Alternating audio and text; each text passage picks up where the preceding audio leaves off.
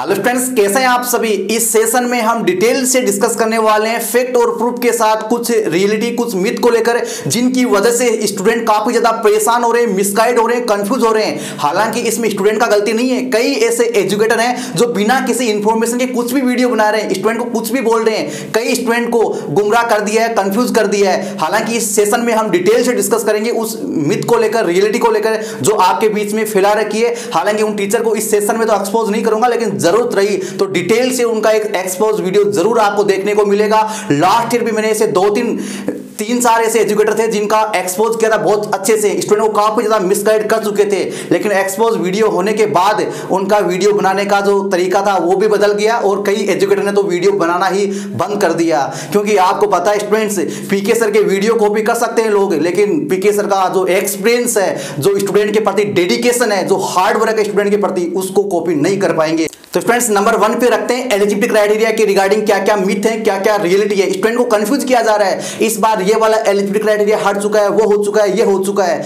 अभी जो eligibility criteria आप देख रहे हो ना, वो इन्फॉर्मेशन ब्राउज़र में देख रहे हो। नया एलिजिबिलिटी क्राइटेरिया आएगा डिटेल से आएगा। ये तो एक शॉर्ट तरीके से दे रखा आपको। डिटेल से एलिजिबिलिटी क्राइटेरिया आएगा डिटेल से सीट मेट्रिक्स आएगा। ये जो सीट मेट्रिक्स अभी अवेलेबल है, ये पुराना है, अभी अपडेट होकर आएगा। जो नए प्रोग्राम ऐड हुए वो भी आपके अपडेट होकर आएँगे। और ये जो इंफॉर्मेशन ब्राउज़र आप रीड करके वीडियो बना रहे हो स्टूडेंट को गुमराह कर रहे हो, बेवकूफ़ बना रहे हो, ये नॉर्मल स्टूडेंट नहीं है, ये आपसे बदला लेंगे ज़रूर। आप ये कमेंट बॉक्स में ये नॉर्मल स्टूडेंट नहीं है, आपको मैं याद दिला दूँ फिर भी। ये जो ऑडियंस है, ये देश के भावी आईआईटी एनआईटी में जाने वाले हैं, अगर इनका इस बार सिलेक्शन नहीं हुआ तो अगली बार होगा, अगली बार नहीं तो उससे अगली बार होगा। ये जो स्टूडेंट है, ये अपने सपनों के साथ समझौता करने वाले नहीं है, ये डेडिकेशन के साथ हार्ड वर्क करने वाले हैं। तो स्टूडेंट्स मैं आपको क्लियर कर दूँ, ये जो अभी एलिजिबिलिटी क्राइटेरिया ये अपडेट होगा, पूरा डिटेल से आएगा। कब आएगा? अभी टेंथ अप्रैल से पहले काउंसलिंग स्टार्ट होने से पहले आपका एडमिशन ब्राउचर आएगा। अभी जो देख रहे थे वो क्या था? इन्फॉर्मेशन ब्राउचर अभी क्या आएगा? एडमिशन ब्राउचर आएगा, जिसके अंदर आपका डिटेल से सीट मेट्रिक्स होगा और मिनिमम एजुकेशन क्वालिफिकेशन होगा आपका डिटेल से। इसके साथ ही सीट मिलने के बाद का जो प्रोसेस होता है वो क्या रहेगा? आपका काउंसलिंग का प्रोसेस क्या रहेगा? उसके बारे में डिटेल से आपको समझा रखा होगा कि एक्सेप्ट एंड फ्रीज क्या होता है? सीट को एक्सेप्ट कैसे करें? एक्सेप्ट करके उसको अपग्रेड कैसे करें? इसके साथ जो स्टूडेंट सीट को नहीं लेना चाहता है तो उसको रिजेक्ट एंड क्विट कैसे करे? इसके रिगार्डिंग पूरा डिटेल से आपको इन्फॉर्मेशन ब्राउज रहेगा। जैसे इन्फॉर्मेशन ब्राउज रहेगा, उसको हम एक लाइव सेशन में डिटेल से आपको समझा भी देंगे तो आपको चिंता करने की ज़रूरत नहीं है। अभी आपको एलिजिबिलिटी क्राइटेरिया को लेकर ज़्यादा कंफ्यूज होने की ज़रूरत नहीं। स्टूडेंट्स नया इन्फॉर्मेशन ब्राउज़र आने दो, आप एडमिशन ब्राउज़र उसमें हम डिटेल से आपको समझाएँगे। वो आने के बाद ही आपको चॉइस फिलिंग ऑर्डर सेट करना है, क्योंकि आपको उन्हीं कॉलेज को चूज़ करना है, जिनमें आप एलिजिबल है हंड्रेड नहीं तो सीट मिलने के बाद भी एडमिशन कैंसिल हो जाएगा। ये जो एजुकेटर आपको गुमराह कर रहे हैं ना, इनके चक्कर में एक साल खराब हो जाएगा, इनका तो कुछ नहीं जाएगा। तो ऐसे एजुकेटर से आप संभल कर रहो पता चल गया होगा वो कौन है इसे ठीक है सेकंड नंबर पे स्टूडेंट्स का होता है स्पोर्ट राउंड की रिगार्डिंग स्पोर्ट राउंड स्टूडेंट मैं आपको क्लियर कर दूँ, हालाँकि बहुत सारे एजुकेटर को पता भी नहीं स्पोर्ट राउंड होते भी हैं या नहीं होते हैं, कहाँ होते हैं, कब होते हैं, कैसे होते हैं। स्पोर्ट राउंड स्टूडेंट्स आपके न्यू आई में होते हैं।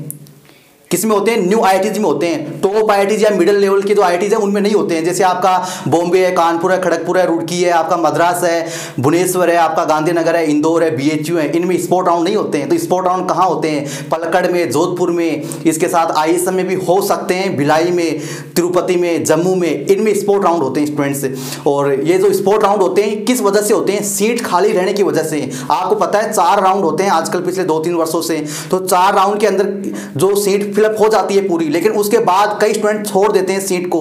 छोड़ने का रीज़न क्या है? कुछ स्टूडेंट आइजर में या अदर इंस्टीट्यूट में चले जाते हैं या कुछ स्टूडेंट इन न्यू आई को छोड़कर टॉप एनआईटी में चले जाते हैं। इस वजह से कुछ सीट खाली रह जाती है। उन सीटों को फिर से फिलअप करने के लिए आपको क्या होता है? स्पोर्ट राउंड होता है। स्पोर्ट राउंड इंडिविजुअल आई अपना अपना कंडक्ट करते हैं, जिसके रिगार्डिंग मैंने डिटेल से वीडियो बना रखा है, जिसका लिंक आपको डिस्क्रिप्शन में मिल जाएगा। उसको आप डिटेल से पूरा वॉच कीजिए। ताकि आपका हर एक डाउट क्लियर हो जाए स्पोर्ट राउंड की रिगार्डिंग स्पोर्ट राउंड को कौन पार्टिसिपेट कर सकता है? ये भी आप ध्यान से सुन लीजिए। स्पोर्ट राउंड को वही स्टूडेंट पार्टिसिपेट कर सकते हैं, जिनको रेगुलर राउंड में या तो सीट मिली नहीं। अगर मिली तो उन्होंने एक्सेप्ट नहीं किया। तो जिन स्टूडेंट ने रेगुलर राउंड में कोई सीट को एक्सेप्ट नहीं किया, या एडमिशन नहीं लिया, या उनको मिली नहीं तो वो सभी स्टूडेंट क्या कर सकते हैं? पार्टिसिपेट कर सकते हैं स्पोर्ट राउंड को। हालाँकि जेम एग्ज़ाम क्वालिफाई करना ज़रूरी है। जो एग्ज़ाम को क्वालिफाई कर चुके हैं जेम को, वही स्टूडेंट स्पोर्ट राउंड को पार्टिसिपेट कर सकते हैं। अगर आपको एनआईटी मिल चुकी है तो भी आप आईआईटी के स्पोर्ट राउंड पार्टिसिपेट कर सकते हैं। लेकिन आपको जैसे मैं एग्ज़ाम्पल दूँ, किसी स्टूडेंट को आई जम्मू मिल चुका है और उसने सीट को एक्सेप्ट कर लिया। सीट को क्या कर लिया? एक्सेप्ट कर लिया। अब आईआईटी जोधपुर में स्पोर्ट राउंड निकला तो वो सोच रहा है जम्मू से निकलकर मैं जोधपुर चला जाऊँ तो अच्छा रहेगा। लेकिन उसने अगर जम्मू में इस सीट को एक्सेप्ट कर लिया तो वो जोधपुर का स्पोर्ट राउंड पार्टिसिपेट नहीं कर पाएगा। अगर आप ज़बरदस्ती फॉर्म को फिल भी कर देंगे, वहाँ चले भी जाएँगे तो आपको रिजेक्ट कर देंगे, क्योंकि उनके पास पूरा डाटा होता है किस आईटी में किस स्टूडेंट ने एडमिशन लिया। वो पूरा मैपिंग करके ही आपको फाइनल एडमिशन देते हैं स्टूडेंट्स हालाँकि स्पोर्ट राउंड का वो वीडियो जो मैं बता रहा हूँ, उसको आप ज़रूर वॉच कर लेना। इसके साथ स्टूडेंट्स आपका होता है कैटेगरी सर्टिफिकेट को लेकर। कई स्टूडेंट बोल रहे हैं, सर जेएम की वेबसाइट पर तो ये लिखा है, वो लिखा है। आप बोल रहे थे एक वीडियो में कि आपको सीसीएमएन काउंसलिंग के लिए थर्टी मार्च या फ़र्स्ट अप्रैल टू के बाद का चाहिए। जी हाँ स्टूडेंट्स अगर आप भी सीसीएमएन काउंसलिंग पार्टिसिपेट करना चाहते हैं triple I central funded institute या एनआईटी के लिए तो आपको भी ईडब्ल्यू सर्टिफिकेट और OBC NCL certificate thirty March 2024 के बाद का चाहिए। यानी अभी जो फ़र्स्ट अप्रैल आएगी ना, इसके बाद आप अप्लाई करना। अगर आप सीसीएमएन काउंसलिंग पार्टिसिपेट करना चाहते हो तो आईआईटी में तो चल जाएगा। हालाँकि कुछ आई में नहीं चलेगा। उनके फ़िज़िकल रिपोर्टिंग में। अभी जो आपके पास एक साल पुराना जो ओबीसी एन ईडब्ल्यू सर्टिफिकेट है, वो चल जाएगा काउंसलिंग में चल जाएगा, कोई दिक्कत नहीं है, आपका फाइनल ऑफ़र लेटर मिल जाएगा। लेकिन जब आपका फ़िज़िकल रिपोर्टिंग होगा तो बहुत सारे आई आपसे नया वाला ओबीसी एन के लिए रिक्वायर करेंगे। तो आपको बना लेना स्टूडेंट से। कई बोल रहे हैं कि वेबसाइट पर सर वो लिखा है, ये वेबसाइट पर तो लिखा है ना, इसको बदलते वक्त नहीं लगता है। आप लास्ट ईयर के मेरे वीडियो देख लो। ठीक है? इसके साथ स्टूडेंट्स हम बात करते हैं काउंसलिंग को लेकर कि क्या सर हम दोनों काउंसलिंग को पार्टिसिपेट कर सकते हैं। क्या हम दोनों काउंसलिंग आई आई जेम और सी सी या आइजर को हम पार्टिसिपेट कर सकते हैं? जी स्टूडेंट्स आप दोनों काउंसलिंग को पार्टिसिपेट कर सकते हैं। आई आई जेम और सी काउंसलिंग का एक दूसरे से कोई लेना देना नहीं है। ये इंडिपेंडेंट है इंडिविजुअल है। इनका एक दूसरे से कोई लेना देना नहीं है। अगर आपको आईआईटी में भी सीट मिल गया एनआईटी में भी मिल गया तो कोई प्रॉब्लम नहीं है। आप एक एडमिशन ले सकते हैं। अगर आपको आईआईटी में जाना है तो आप एनआईटी से अपना सीट विड्रॉ कर सकते हैं। एक लिमिटेड टाइम होता है। लास्ट सिक्स राउंड से पहले आप अपनी सीट को विड्रॉ कर लेते हैं तो आपका जो सीट बुकिंग फ़ीस है, वो भी आपको रिफंड हो जाता है स्टूडेंट्स ये आप ध्यान रखना।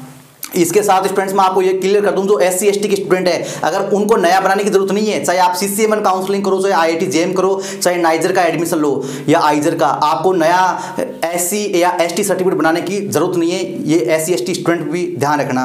तो ये स्टूडेंट्स आपका हो गया कि आप कोई भी काउंसलिंग कर सकते हैं, अगर आपको तीन जगह भी एडमिशन मिल गया तो भी आप एक जगह चूज़ कर सकते हैं, आपके एडमिशन पर किसी प्रकार का कोई इफ़ेक्ट नहीं होगा।